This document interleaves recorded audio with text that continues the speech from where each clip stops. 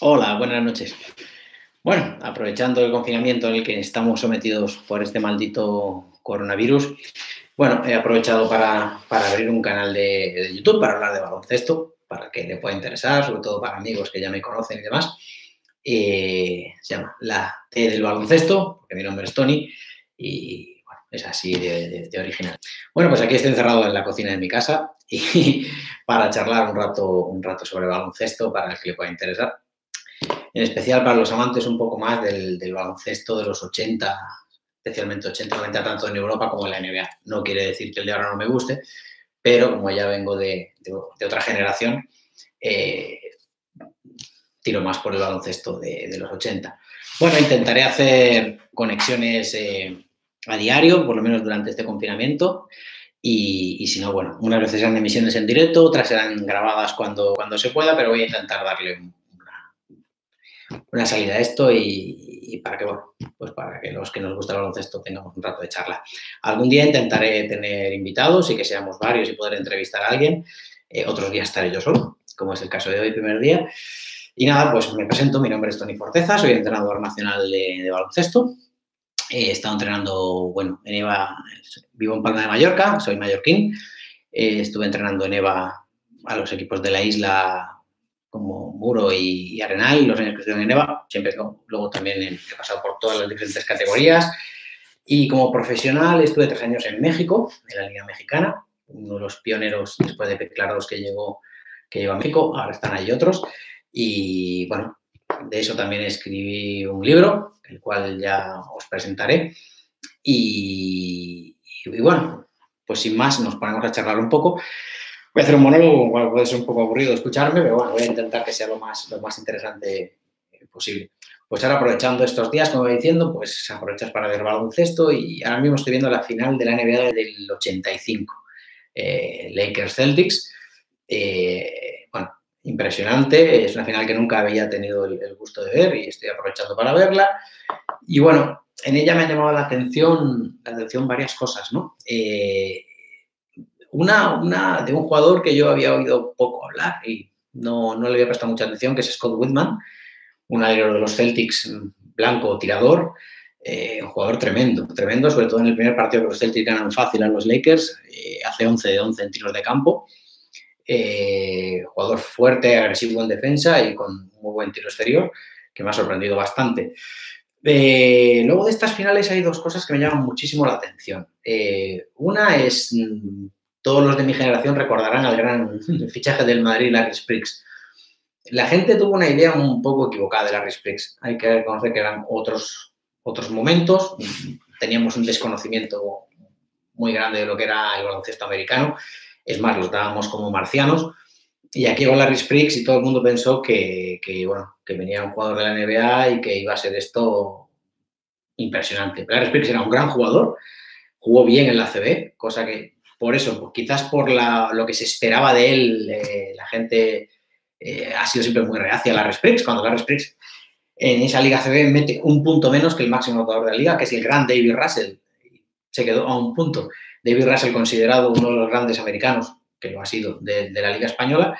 Y sin embargo, Larry Spriggs, como venía con el San de que era campeón de la NBA, que había jugado en los Lakers, la gente pensó aquí que se iba a encontrar con un marciano. Y bueno, era un gran jugador. Y me ha llamado la atención mm, porque Larry Spriggs juega bastante en esta serie y juega bien. Eh, me pareció muy extraño que al año siguiente diera el salto a Europa. Eh, eh, es prácticamente el octavo jugador en rotación, pero bueno, quitado el quinteto de Lakers, luego entra Bob McAdoo, del que también hablaremos, Mike Kupchar y Larry Spriggs. Es el octavo jugador, juega bastante, juega momentos importantes. Mm, ahí en, en el segundo partido juegan en que los Lakers ganan en Boston, juega en los últimos minutos del partido, anota varios tiros, anota tiros libres y está bastante intenso tanto en rebote como en defensa, captura varios rebotes también. Yo supongo que era un jugador que realmente al no tener un, gran dominio de balón y no mm, ser capaz de fabricarse las canastas por sí solo, pues no tuvo un rol más importante, pero era un gran jugador pero así todo, siendo un octavo jugador de rotación de los Lakers de aquellos años y siendo campeón, me extraña muchísimo, muchísimo que el año siguiente se viniera a Europa. En el Madrid, pues para mí jugó bien, era un jugador que a mí me gustaba, pero sí, las perspectivas eran vamos, de que venía aquí un marciano y quizás por eso no terminó de, ser lo importante que debería haber sido. Y no sé, realmente algo le fallaba porque luego estuvo jugando por Turquía y ya nunca volvió a la NBA, siempre estuvo en equipos secundarios en, Turquía y terminó jugando en la CBA, con lo cual algo pasó con Larry Spriggs, pero me ha, sorprendido, me ha sorprendido verlo jugar también en, en estas finales. Ahora estoy por el cuarto partido todavía, los Lakers van ganando 2 a 1 y tiene toda la pinta de que van a ganar el cuarto, que lo dejan en el descanso. Y aquí viene el gran misterio, Bob McAdoo. Bob McAdoo es uno de los mejores americanos que han pisado Europa jamás, un jugador extraordinario, excepcional, y que llevó al Gran Philly de Milán a ganar dos Copas de Europa en los años 86, 87 y 88. Eh, bueno, Bob McAdoo es, como os he dicho, es el sexto jugador de, estos playoffs de los Lakers del 85 y juega a un nivel extraordinario. El primer partido no está muy bien, solamente anota en tiros libres y falla tiros, pero ya el resto de los partidos es un jugador importantísimo. De hecho, la retransmisión, eh, Dick Staunton, el gran, el gran periodista americano, eh, comenta que Pat Riley ha hablado con él diciéndole que le hace falta sus puntos y que los Lakers necesitan esos puntos del banquillo. Y en el, tanto en el segundo, en el tercero, como en, la primera parte que llevo del cuarto partido, es una máquina de anotar McAdoo como se ha sido siempre. ¿Qué pasó con McAdoo? Nadie lo sabe. Nadie sabe qué pasó con McAdoo. Que de repente al año siguiente no siguen Lakers, después de ganar Lakers este anillo del 85, no siguen Lakers y se va a Filadelfia. En Filadelfia vuelve a meter puntos todos y más como siempre, y de ahí se va a Italia. Se va a Italia, se va el Philip de Milán, y ahí aparece el gran Philip de Milán, eh, comandado por, por Mike Anthony, luego hablaremos, eh, que era el base extraordinario de aquel equipo, acompañado de, aquí tengo nombres como Franco Boselli, Roberto Premier, el grandísimo Dino Meneghin, Monumento Nazionale, Ken Barlow y Ricardo Pitis, del que también luego hablaré porque tuve el placer de conocerlo, a él y sobre todo a su padre, en una de mis visitas a, Treviso a ver los entrenamientos del, gran maestro Celko Bradovich. Y, me llamó mucho la atención de ver a Macadú a este nivel, cómo, cómo en dos años estaba jugando en Italia, cuando era un jugador con un currículum de NBA impresionante, una máquina de anotar. Y bueno, terminó en Italia, hizo aquellas dos grandísimas temporadas con, con el Philly de Milán, ganando las dos Copas de Europa y siendo el mejor jugador de largo de, ese tremendo plantillón del que hemos comentado. Eh, bueno, estoy deseoso de seguir viendo las finales. Sabemos que ganaron Lakers en el año, 85, pero los partidos están realmente en un nivel tremendo. Como siempre, el gran James Worthy, que ya sabéis que era un jugador extraordinario, pero cuando llegaba el playoff era mucho mejor todavía. Eh, del que sí siempre había oído hablar de que le costó mucho anotar tiros importantes eh, era a Byron Scott. Y es verdad, es verdad, quitado del, cuarto partido en el que estoy ahora, pero que son puntos en transición, en contraataques, terminando muchos de ellos en mate, eh, le costaba, le costaba anotar con tiros liberados. Sin embargo, Michael Cooper, que por cierto me he olvidado del antes, que es otro jugador de rotación, Michael Cooper sí, sí, como siempre, anotando tiros, tiros muy importantes, demostraba que era un jugador extraordinario, no solamente un gran defensor, sino un tirador en momentos decisivos impresionantes. Y, bueno, Magic ahí está jugando siempre a su nivel y el que está un poquito más flojito, que había sido el MVP de la temporada, eh, es Larry Bird. Larry Bird no, no está haciendo unos grandes partidos y se está notando. Los Celtics ahí lo estaban notando, lo estaban notando un montón. Bueno, pues esto un poquito para la, introducción y para, para que veáis lo que estoy viendo ahora, que es que es esta final de los 85, y en la que, gracias a ella, pues he enlazado con varias cosas como, como el tema de Larry Spriggs, ¿no? Y mm, el tema de Mike Anthony, que también vamos a hablar de él ahora, en un ratito, de Houston Rockets, y sobre todo lo de Bob McAdoo, que me parece el gran misterio, el gran misterio. El otro día hablé con mi amigo Tito Horford, el, primer dominicano que jugó en la NBA, en los maravillosos Milwaukee Bucks de esos años, de los 80, y padre de Al Horford, el jugador de Filadelfia, y me comentaba lo mismo, que es una cosa que incluso en Estados Unidos se ha hablado de, por qué McAdoo se vino a Europa cuando pues Europa no era como ahora, que había, bueno, que, el baloncesto europeo estaba tan igualado al americano, había su diferencia y sin embargo, pues evidentemente debía recibir una oferta económica importantísima, pero me imagino que debía ganar más, tanto en Lakers como en Filadelfia. Pero bueno, es el gran misterio y hablando con Tito, porque tenía preparado hablar de este tema, me dijo que, bueno, es una cosa que allí también se habla y que nunca se ha, comprendido. Bueno, eh, en, estos días intentaré siempre, siempre pues, hacer una pequeña introducción de a ver qué estoy viendo en estos días y luego mm, quiero hablar siempre de algún de un, personaje, de algún personaje histórico del baloncesto, ya puede ser jugador o ya puede ser entrenador. Hoy va a ser entrenador, aprovechando eh, que soy entrenador, pues me gusta mucho hablar de los grandes entrenadores. Luego hablaremos un poco de la actualidad, aunque bueno, la actualidad por desgracia está parada por el maldito coronavirus, pero bueno, un poquito de lo, de lo, de las últimas jornadas, de lo último que pasó antes del parón de todas las ligas, en este caso será de los Houston Rockets, de ahí venía lo de Mike Anthony.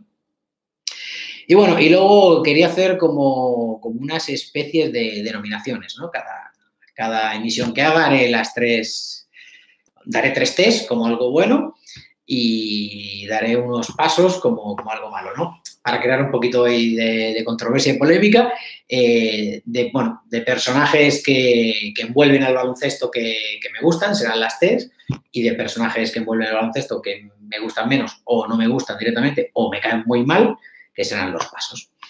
Eh, bueno, vamos al personaje que, del cual os quería hablar hoy que no es otro de que el gran padre del baloncesto europeo, del gran maestro, Asa Nikolic. Asa Nikolic, eh, para mí es el creador del, baloncesto europeo. Eh, todos los grandes entrenadores eh, yugoslavos te lo dirán. Yo soy un gran amante del, baloncesto yugoslavo. Para mí el baloncesto se hace en los Balcanes. el baloncesto americano es muy bonito, muy espectacular, lo inventaron. Nosotros en España, por suerte, hemos tenido una generación increíble, donde hemos visto ganar tres campeonatos de Europa, mundiales, pero para mí el baloncesto se juega en los Balcanes. De hecho, no puedo dejar de aprovechar la oportunidad. Soy un fanático a niveles enfermizos de Drasen Petrovic. Y bueno, ya que estoy, quería aprovechar. Quería hacer esta conexión con la camiseta de la Cibona, pero bueno, creo que da un poco hortero ponerse un tío en una cocina con la camiseta de la Cibona.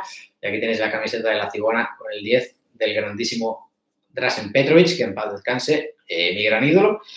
Bueno, cada día seguiremos sacando alguna camisetilla en referencia de, algún jugador que hablemos o de, o en este caso, pues para hacer un pequeño homenaje al, grandísimo Drasen Petrovic. Volviendo a Nasa Nikolic, Nasa Nikolic nació en, Sarajevo en 1924 y nos dejó en el año 2000. ¿Por qué decimos que es el padre del baloncesto? Eh, es el auténtico creador de, la escuela balcánica. Eh, por ejemplo, eh, podemos hablar de como gran maestro a Pedro Ferrandiz, por ejemplo, por el gran currículum que tiene, pero yo creo que Pedro Ferrandiz fue alguien que nos enseñó a ganar, cómo se debía ganar, y Nikolic nos enseñó cómo se juega baloncesto. Por eso creo que es el gran, el gran padre del baloncesto.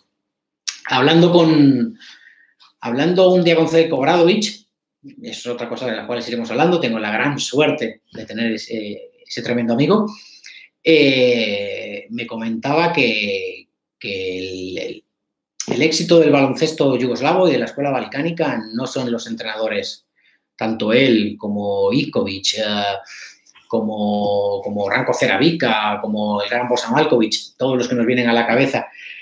Eh, siempre dice lo mismo, dice, nosotros sabemos ganar, eh, pero en, en, la escuela balcánica los grandes entrenadores están en la cantera, por eso salen esos jugadores. Y eso lo creó todo el maestro, el maestro Nikolic.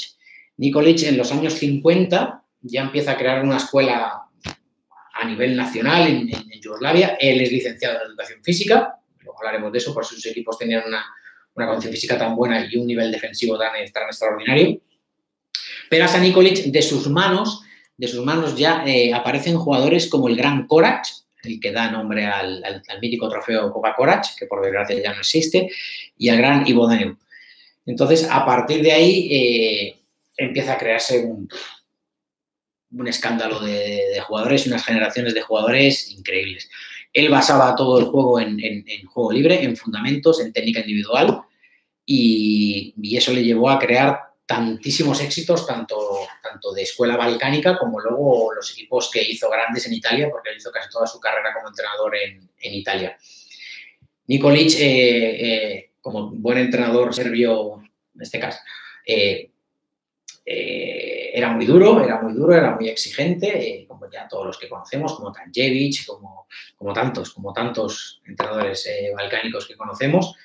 Y, basaba su juego, por lo que hemos dicho, en, técnica individual, en, conocer, en conocer el juego y en el aprovechamiento de los espacios.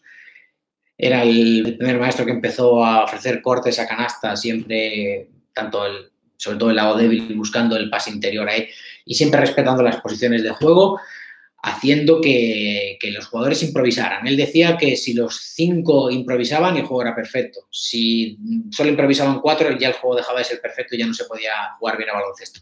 Lo tenía muy claro. Como tenía esa...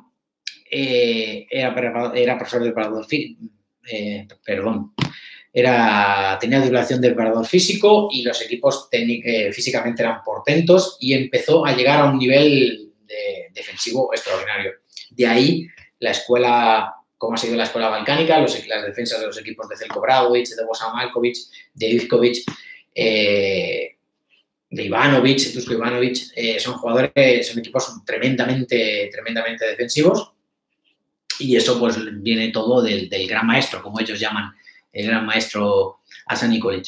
Me comentaba Celco que Nikolic tenía un libro en el que desde los 15 años fue apuntando todos los detalles del baloncesto que se le iban ocurriendo y que él iba improvisando y que él iba probando, y que este libro solamente tuvieron acceso ellos, sus, discípulos.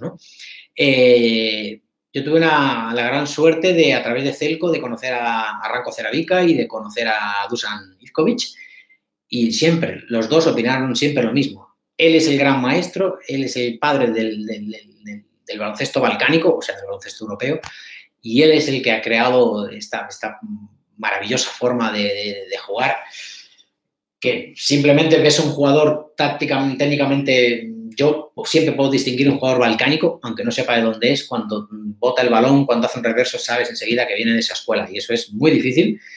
Y esto empezó en los años 50 y a día de hoy sigue así, con lo cual mm, es bastante evidente que es el gran padre, que es el gran padre de este baloncesto los, eh, tanto Celco como, como Ranko Ceravica, como, como Ivanovic, como Ivkovic, todos tienen una auténtica devoción, devoción por, el gran Asa Nikolic, ellos le llaman el maestro, eh, en Italia le llamaban la excelencia, eh, porque, bueno, dicho, después del baloncesto yugoslavo, él en aquellos años entrenaba en la Federación Yugoslava, pero en aquellos años no se cobraba, y entonces tuvo que empezar a entrenar en clubs y él se marchó, se marchó a Italia y ahí pues hizo grande al gran Ignis de Varese, de, mi amigo Manolo Raga, el gran jugador mexicano del que también hablaremos en algún momento. Y después de allí hizo grande a la gran Virtus de Bolonia y al Scavolini de Pesaro. Hizo campeón con todos ellos y, dejó una huella sin duda enorme, enorme, enorme en el, baloncesto, en el baloncesto italiano. Eh, bueno, eh, podríamos nombrar cantidad de, de, victorias y de campeonatos, pues bueno, los, voy a nombrar. El Palmares como entrenador son dos veces campeón de la Liga Yugoslava, dos veces campeón de la Copa Yugoslava, una vez campeón de la Recopa, tres veces campeón de la Copa de Europa, una vez campeón de la Copa Intercontinental, tres veces campeón de la Liga Italiana, tres veces campeón de la Copa Italiana, medalla de oro con Yugoslavia en el Campeonato del Mundo del 78 y plata en Río de Janeiro en el 63, medalla de oro con Yugoslavia en el Campeonato de Europa Lieja 77 y plata en Belgrado 61 y Moscú 65 y bronce en Procla, Polonia en el año 63. Todo esto consiguió como, entrenador, como títulos, pero lo más importante, sin duda, que consiguió el gran Nasa Nikolic es crear esta maravillosa escuela de baloncesto de los Balcanes, que siempre, siempre ha sido y siempre será el mejor baloncesto que se, que se juega en el mundo, al menos en mi opinión y creo que en la de muchos. Bueno, dejamos al, gran maestro, al gran maestro Nikolic para centrarnos un poco en, el baloncesto de la, actualidad. Bueno, lo que habíamos hablado, lo que ha quedado un poco antes de, esta maldita epidemia del coronavirus, que esperemos que se acabe lo antes posible.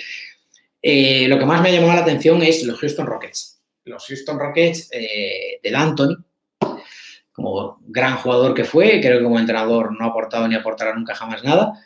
Eh, un día me dijo, un día me dijo Zelko mm, que para mí es el mejor entrenador del mundo, eh, que jamás iría a entrenar a la NBA. De hecho, he tenido alguna opción y jamás lo hará. Me dijo, en la NBA no es que mande el jugador estrella, que manda bastante. Dice, muchas veces el que manda es la marca comercial de la zapatilla que lleva el jugador estrella, con lo cual esto, un tipo como Celco no lo va, no lo va a consentir jamás en la vida. Pues esto es lo que está pasando en los Houston Rockets.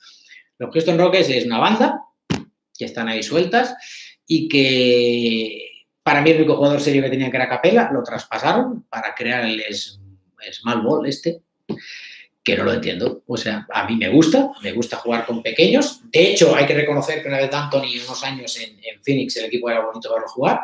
Y los maravillosos Sacramento Kings de, Chocolate Blanco, Divac y Stojakovic y compañía, Chris Weber, era maravilloso.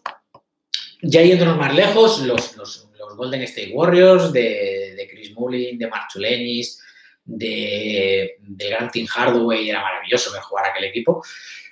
Pero este invento del Small Ball, bueno, pues me imagino que es porque a Harden se le ha ocurrido esto en este momento.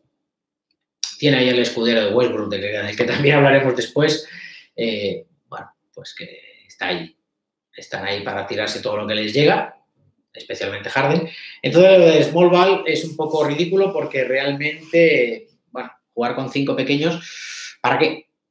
¿Para qué? Cuando lleguen los playoffs, eh, esperemos que se jueguen, para cuando lleguen los playoffs, Harden se va a tirar 50 tiros y ya está. Entonces, lo único que han hecho es perder un, rebote o una opción de poder meter un balón dentro como que tenían papel. Se han quedado sin rebote y lo único que tienen es tiro exterior, pero como solamente va a tirar uno, eh, de poco va a servir. Entonces, lo que decíamos, ¿qué aporta D'Antoni? Nada. D'Antoni no pinta absolutamente nada en esa franquicia, porque el que manda es Harden y poco más, y poco más. Entonces, sinceramente, no entiendo esta, esta historia de jugar con el small ball porque realmente, bueno, se ha visto en los últimos partidos, Houston no juega nada, el que la llega se la tira, o sea, Harden, y alguno suelto que queda, pues Westbrook se tira hasta el final y se empotra con el que encuentra y hace una falta en ataque y ya está. Esa es la forma de jugar de, Houston y, y, bueno, creo que, creo que de poco les va a servir que en primera ronda de playoff, evidentemente, caerán con quien, con quien les toque, porque no se puede jugar peor baloncesto. De hecho, los últimos cuatro partidos han estado perdiendo una media de más de 30, 35 puntos por partido. Y bueno, esto es lo que ha quedado de. Esto es lo que ha quedado de los, de los Houston Rockets. Bueno, eh, pasamos a otro, otro apartado. Hoy es el primer día, estoy todavía centrándome un poquito. Los, próximos días intentaré venir con un poco más de información y, tener las, las, cosas un poquito más claras. Lo que os decía, me apetecía un poco hacer, hacer unas nominaciones, ¿no? De, ofrecer eh, una T, una de las tres Ts, de, tres personajes que en el, que en el mundo del baloncesto me caen bien, me gustan, y dar pasos a los, quitarle pasos a, tres personajes que, bueno, que ni me van ni me vienen o simplemente me caen mal, las cosas como son. Bueno, la primera T se la quería ofrecer a Anthony Daimiel. Anthony Daimiel, el grandioso comentarista de, de la NBA, junto a Guille, que hacen una pareja espectacular, y junto al añoradísimo Andrés Montes, que era yo creo la mejor dupla que he visto en mi vida. Y bueno, quería ofrecer a Antonio de Miel primero porque siempre me ha caído bien, porque me parece un profesional como la Copa de un Pino, eh, un personaje gracioso, curioso, y sobre todo porque, bueno, mm, yo de mi época de, en la Liga Mexicana escribí un libro, le mandé uno bueno, pues porque es una persona que me cae muy bien, una especie de, ídolo. Y bueno, eh, tuve, el, tuve el gran honor de que en Colgados del Aro presentó mi libro para que la gente lo conociera. Se llama Baloncesto de Aventura. No lo tengo aquí ahora, otro día os lo enseñaré. Y bueno, ya me terminó de ganar cuando presentó mi libro en, Colgados del Aro. Entonces le quería ofrecer la primera T de mi, de mi primera emisión Antonio de eh, la segunda T eh, para los, más los, de mi generación, los más antiguos, os acordaréis de un personaje muy curioso, muy curioso y extraño, que estaba en el banquillo del Maccabi siempre en los años 80 y 90, que por desgracia nos dejó en el 2009. Y era ni más ni menos que el gerente, que se llamaba Moni Fanan. Era un personaje tremendamente curioso. Eh, me ha llegado información de que era el propietario de la empresa Elite, patrocinador del Maccabi del Tel Aviv, tenía un peso tremendo dentro, de, dentro del, club y, siempre estaba en el banquillo, siempre estaba en el banquillo del Maccabi, era un personaje extraño, con un jersey de lana siempre, eh, calvo, pero con una melena aquí atrás, que, bueno, estaba en el banquillo, llevaba el agua a los jugadores, protestaba al árbitro, eh, se iba a la hablar con el presidente, que eran muy amigos, eh, se metía dentro de la pista mm, si hacía falta, alentaba a la gente para que, para que animaran, estaba en todos lados siempre. Era un personaje curiosísimo, muy gracioso y, bueno, me cayó bien siempre. Fue un personaje que yo siempre lo vi en el banquillo de los, del Maccabi, además un equipo que siempre me ha caído muy bien por sus grandes jugadores, de los, de los cuales hablaremos un montón. Y, bueno, nunca supe quién era ese, ese buen hombre hasta que cuando conocí a Zelko Bradovich le pregunté y me dijo, hombre, ese es un personaje tremendo en el baloncesto europeo, que todo el mundo lo conoce, y me dijo que los era muy, muy, muy extremadamente querido por los jugadores del Maccabi porque era como un padre y que le ofrecía todo. Me llegó a contar que una vez un jugador americano, amigos ahí que a las 3 de la mañana se le rompió la lavadora y lo llamó y se fue y trajo una lavadora, supongo que siendo de élite no tenía ningún problema, a las, 3, a las 4 de la mañana tenía el jugador americano una lavadora en su casa. Un tipo excepcional, espectacular, de esos que, que han hecho historia en el, baloncesto europeo sin estar en primera, en primera línea. Yo os aconsejo que busquéis en, Wikipedia, lo encontraréis, Moni Fanan, gerente del Maccabi de la Vida. Un auténtico personaje. Muchos a lo mejor de mi generación ahora mismo no recordáis, le pondréis cara en cuanto, lo busquéis en Google. Y luego el gran personaje, yo creo que de la, de la NBA, un entrenador llamado Frank Leiden, que entrenó en varios sitios, pero sobre todo estuvo donde realmente hizo una buena carrera y fue entrenador del año. Fue eh, en el año 84. Del, 1, del 81 al 88 entrenó los Utah Jazz. Era un personaje gordito, grande, con el pelo blanco, con unas gafas, una cara muy simpática y que montaba unos, unos cirios en la banda espectaculares, casi siempre de buen rollo, alguna vez no tanto, pero era un personaje tremendo, tremendo, un personaje curiosísimo, también muy querido por toda la NBA. Se le dio una vez un premio como ciudadano del año en Estados Unidos, un gran tipo. Yo recomiendo que busquéis un tributo en YouTube que pone tributo TNT, eh, tribute, TNT, tribute a Frank Leiden. Y ahí lo encontraréis, el gran entrenador de los Utah Jazz entre el año 81 y el 88, que es otro de los grandes, de los grandes personajes. Ahora, Voy a beber un traguito de agua antes de, antes de dar mis tres nominaciones a mis tres personajes odiados a los que les voy a pitar pasos. Advierto, el primero va a crear mucha controversia, pero mm, ya que estamos hay que ¿no? generar un poquito de controversia. Un traguito de agua y vuelvo enseguida.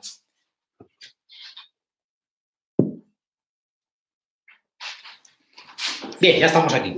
Por cierto, aprovecho para decir que he hecho una intro muy, muy chula, me encanta y está colgada en, en, en, Baloncesto 1972, que es como se llama mi canal, pero que todavía no la he podido enlazar con las retransmisiones, he dicho. Acabo de empezar con esto, es totalmente novedoso y bueno, intentaré resolverlo en unos cuantos días.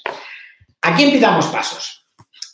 Al rey, al rey de los pasos, a LeBron James. Personaje que me cae extremadamente mal. Eh, nunca lo he podido soportar eh, no puedo entender cómo se le consiente hacer esa cantidad de pasos, acordar de nuestra magnífica final olímpica, en la final en la que, en la que Rudy Fernández ha retratado a Howard. Eh, bueno, es un tipo que me cae mal, que no me parece demasiado inteligente en su forma de jugar. Esa obsesión de que las cámaras lo enfoquen y de subir el balón, sus equipos suelen jugar a bastante poca cosa, pero él necesita que se le vea y no puedo entender cómo se le permite hacer estos pasos. Os acordaréis hace un par de meses la famosa jugada de que sacan de fondo, le dan el balón, la coge, se van dando, se van dando. Tampoco se le pitan, pero aparte, un jugador de baloncesto, eh, eso no le sale, porque ya es natural y no le sale. A él le sale, ¿por qué? Porque se lo consienten y entonces, pues sí, cogió el balón, se le fue a la cabeza, salió andando, pero como está acostumbrado a que no se los piten y, y le sale, pues, pues por eso. Ya os digo, es un personaje muy arrogante que me cae extremadamente mal. Hay que recordar una, una imagen de viendo un partido de, su hijo, que está el equipo de niños, no sé qué edad debe tener, 9, 8, 9 años, la rueda de calentamiento y él sale y se pone en la rueda de calentamiento, coge el balón y pega un mate. ¿Qué necesidad tienes de hacer esto? Ya sabe todo el mundo que tu hijo está aquí, ya sabe todo el mundo que eres LeBron James porque estás ahí. ¿Para qué tienes que montar este tipo de espectáculos? Bueno, me parece un personaje, bueno, cutre, no, no me gusta, me cae mal, no me gusta verlo jugar, no es un jugador elegante para mí, ni mucho menos. Y, bueno, pues mm, aprovecho para dar los primeros pasos y para decir, volver a decir que me cae espantosamente mal y también en el libro aproveché también para decirlo porque es que no lo puedo soportar. Segunda persona que le quitaríamos pasos. Yo creo que en esto medio país está de acuerdo. Luigi da Mónica. Un personaje tétrico. Un árbitro lamentable. Casero donde los haya, menos cuando pita en Madrid. Casero donde los haya, un personaje despreciable. Me parece que es el típico eh, abrazafarolas, como decía José María García, el típico pelotilla de, la FIBA y de todo lo que se pueda mover. Y es un personaje lamentable, malo, muy malo, muy malo. No sé qué es lo que tiene en contra del baloncesto español, especialmente del Madrid, que nos machaca todo equipo español y especial, vuelvo a insistir, especialmente el Madrid, cada vez que nos enfrentamos, cada vez que dirige un partido en el que, en el que está este, este personaje. Bueno, hace poco le pegaron en Atenas, no quiero decir que eso esté bien, pero bueno, yo creo que ha sembrado bastante y que algún día, evidentemente, eh, tenía que pasar, porque es que es un personaje lamentable. Eh, el tercero, ya hemos hablado, he hablado de él hace un ratito, eh, Russell Westbrook. Me parece el talento más mm, de baloncesto, el talento más desperdiciado que he visto en mi vida. Jugador que lo tiene todo, unas condiciones físicas asombrosas, una potencia increíble, unas piernas para jugar a esto espectacular, físico para poder defender increíble, para jugar uno contra uno, para penetrar, para todo. Me parece un jugador con... Si me dicen, ¿qué cuerpo quieres para jugar a baloncesto? Tienes el de Michael Jordan y, se puede decir que tienes el de Russell Westbrook. Pero no sabe. Evidentemente no tiene nada en la cabeza. Es la persona que más veces en mi vida he visto con cara de frustrado, porque es que al final termina frustrado siempre, porque nunca gana, porque siempre cae. Y me parece un desperdicio absoluto, absoluto de, de talento. Y ya lo que le faltaba, pues terminar en un equipo como este, como los Rockets, que cada uno va a su aire y, yo creo que ya es los últimos tiros que está pegando la NBA y la última tumba que va a acabar. Y bueno, pues es, eh, aprovecho para, darle los pasos porque además me cae bastante mal. Me parece un tipo arrogante, un tipo que para jugar monas, lo que llaman las típicas monitas, las típicas pachacas, o para jugar los All-Stars que se juegan hoy en día, es perfecto. Pero para nada más, para de aquí para nada más. Bueno, eh, espero que os haya gustado. Es una pequeña, una pequeña introducción. Me gusta hablar de baloncesto. Al que le guste y tenga interés en escucharme, casi mejor que solamente con sonido, que no me miren. Eh, no soy periodista, no soy comunicador, eh, simplemente me gusta el baloncesto, me encanta hablar de baloncesto y bueno, aprovechando esta situación en la que estamos en estos momentos, pues bueno, quería aprovechar pues para hablar un poquito de baloncesto y ya digo, que le interese, pues, pues bien, y bienvenido sea. Y si me queréis contactar, bueno, en, si entráis en Facebook, en la página Baloncesto y Aventura, eh, es la página que, está, se habla sobre mi, libro, mi libro sobre mis tres años entrenando en México. Y si no, pues mediante correo electrónico, baloncesto1972 gmail.com. Ahí me podéis encontrar también, contactar para lo que queráis, para lo que queráis, por si esto os gusta, si no os gusta, si sois gente de baloncesto y queréis hablar de algo o, o incluso algún día se puede invitar a alguien para hablar, o sea, bueno, lo que, para lo que queráis. Lo, único que se trata es de, intentar pasarlo bien, de, reírnos un ratito, de, tener un rato agradable y bueno, y hablar de, hablar de, historias de baloncesto, ni más ni menos. Entonces, lo dicho, espero que os haya, os haya gustado mucho. Voy a ver qué preparamos para mañana, que haremos otra emisión en directo. Nunca va a ser a la misma hora, siempre dependerá un poquito.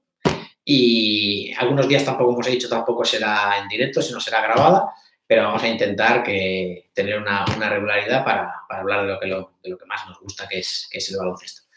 Pues nada, hasta aquí. Eh, aprovecho para saludaros a todos y lo dicho, mañana nos escuchamos otra vez. Muchas gracias, un saludo. I love this game.